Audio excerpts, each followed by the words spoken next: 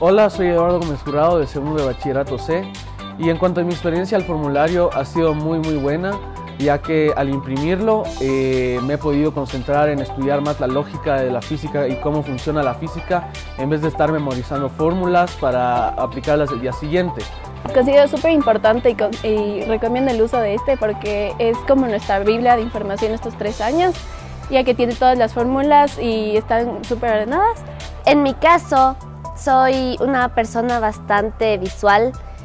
Aprendo muchísimo más cuando me enseñan con dibujos o con imágenes o incluso videos. Es por eso que el formulario de física me ha ayudado bastante porque no solamente tiene, contiene las fórmulas que estamos estudiando, sino también contiene dibujos y aparte de eso definiciones de los temas.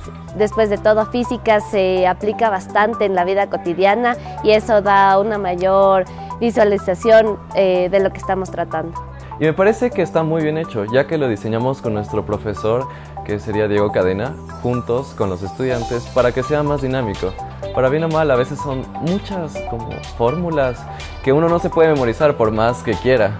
Bueno, mi nombre es Diego Cadena, soy docente de física. Hemos visto la necesidad de desarrollar en conjunto con otros docentes un formulario que abarque diferentes tipos de información con respecto a la asignatura de física.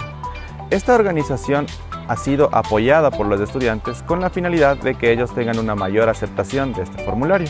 Esta fue una experiencia muy enriquecedora tanto para chicos como para los docentes, porque se hizo un trabajo en conjunto y una colaboración para lograr que los estudiantes obtengan una información de manera más organizada y de esta forma puedan tener mejor desarrollo en lo que viene siendo la materia de física.